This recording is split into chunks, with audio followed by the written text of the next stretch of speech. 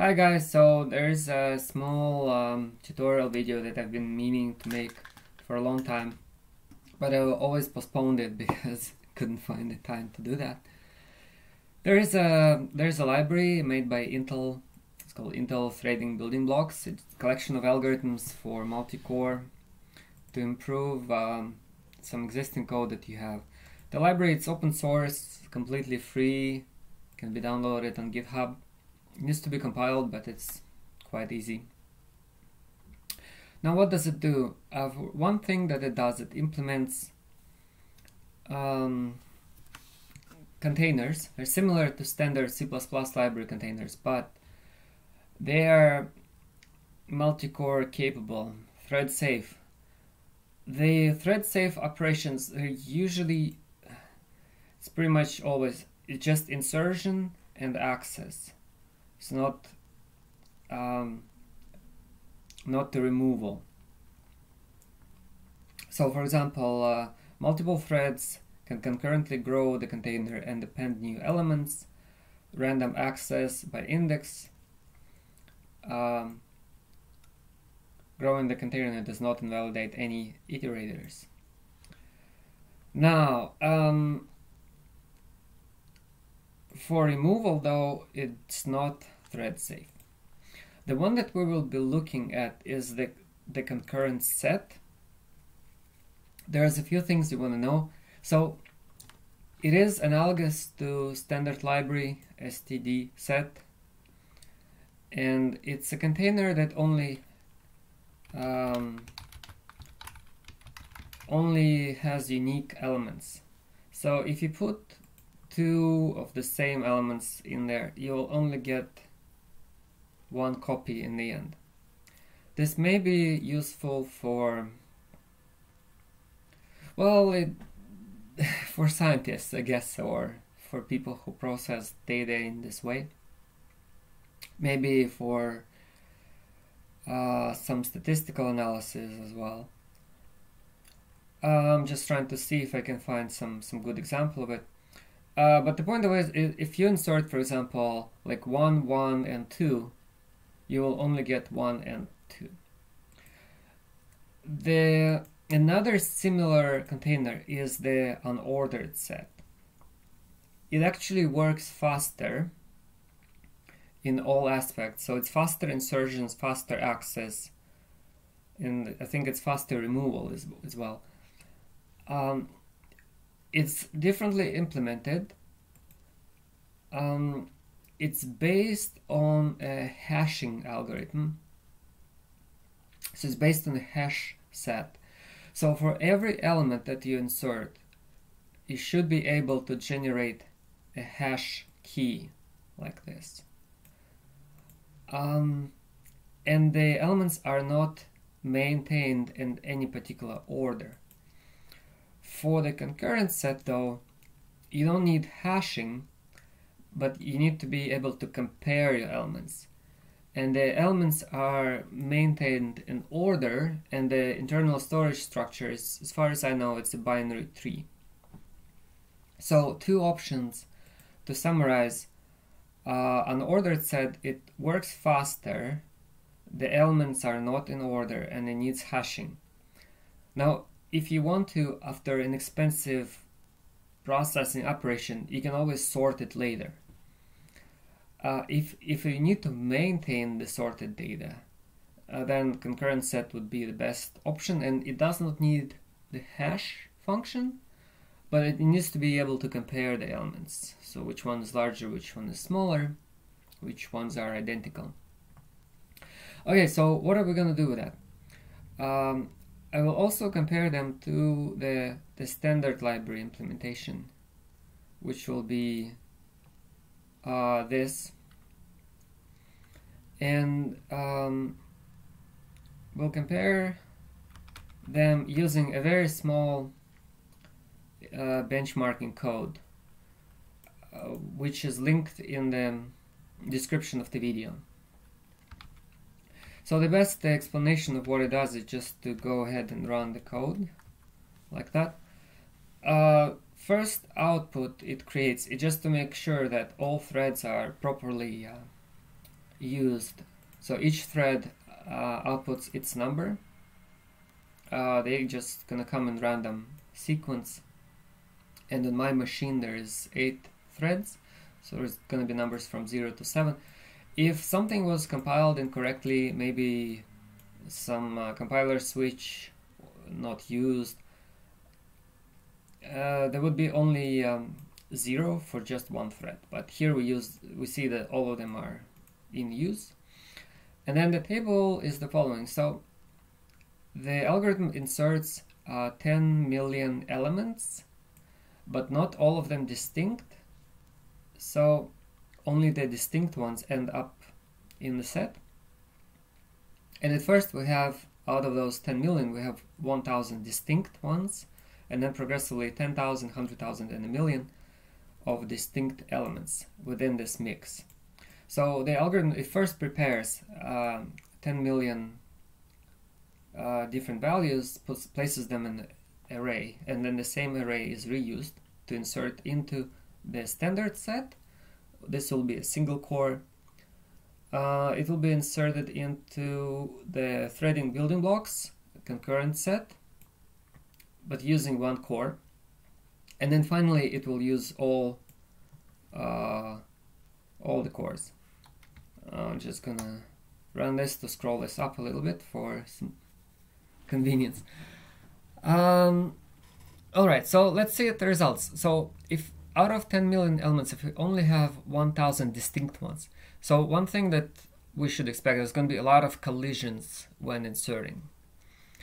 And uh, 635 milliseconds on my machine for the standard. Now, if you use the Intel's algorithm with just single core, it's no good. It's quite um, a loss of computing power. And even using all cores, all eight threads, does not improve things. So in the end, you get 1.65 um, result worse. Now for, for 10,000 distinct elements, we're already seeing a slight improvement when, when using uh, Intel threading building blocks. Um, although if it's run uh, several times, uh, this number will be around 1, so it's maybe not perfect. But then again, you'll see that it kind of varies from one machine to another. But then this algorithm, it really starts to shine, really starts to produce good results when you don't have as many collisions between elements. So you're inserting 10 million, but only um, but a hundred thousand of them are different so you're inserting more different elements. And it takes four seconds for the standard uh, C++ library but only 1.6 seconds for the Intel's threading building blocks uh, which is already good. So this is kind of your threshold where you would start to see the improvement uh, and then if out of 10 million, a million are distinct, then it's even better. So you get 11 seconds versus 3. Uh, this improvement, it's somewhere between uh, 3 and 4 times improvement. So in such use cases, um, if you want to save, you know, computational time and just use all multi-cores, that's a good way to go. Uh, let's take a look at the algorithm real quick and then I'll show another test using a 16 uh, thread machine. Let's see. So as I mentioned earlier, so this part, it just basically just runs a quick test and outputs the thread numbers just to make sure that you are really using the OpenMP library. Uh, just a reminder, you'll need to compile your code with um, fopenmp compilers, switch if it's on Linux.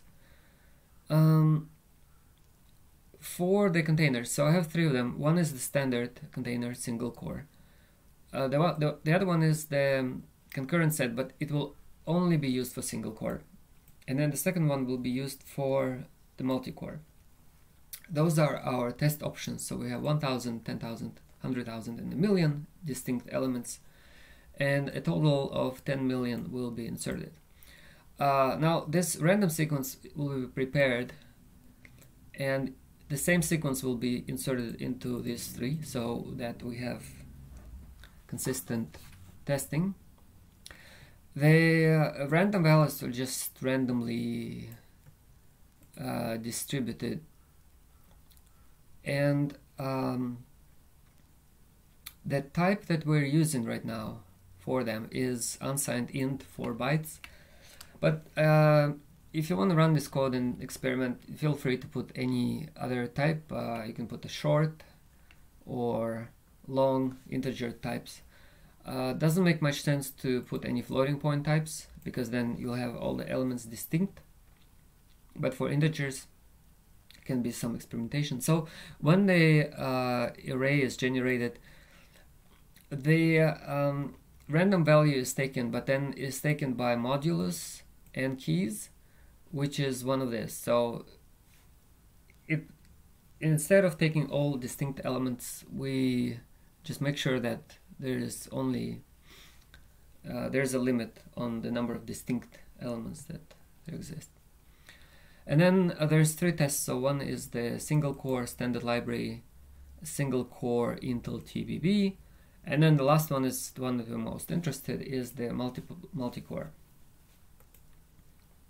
Now let's see how this works on uh, AMD Ryzen 2700. So this processor has 16 threads and right away even in the the worst case that we had previously it already gives a significant improvement by about twice. So when you have um, 16 threads, this really makes a difference. And right away, this beats the performance of the standard uh, library set. And then, of course, as the number of distinct elements increases, then you get better better results. Uh, one interesting observation that I had. There is a there's a rather big jump here between um, a hundred thousand and a million. And um, it might have something to do with the amount of cache available to the processor um, because for for my laptop processor is 8 megabytes of cache and then Ryzen has 16 uh, but I'm not 100% sure about this assumption and um, there is a immense immense benefit for the the multi-core machines with this algorithm. So, for example, you can see here performs almost like seven times better uh, than the single core. Yeah, it's not it's not a 16 time benefit, but it's still a very good um, speed up. Uh, of course, um, on on the machines with lower number of cores, it's not as as prominent, but still. So this is something that, uh, as a programmer, you might consider doing if you ever using uh, those containers. Think about using them in uh, multi-threaded um, versions, especially if um, it actually takes some uh, significant amount of processing time. Uh, if you have like large amounts of data, like uh, in terms of like millions of records,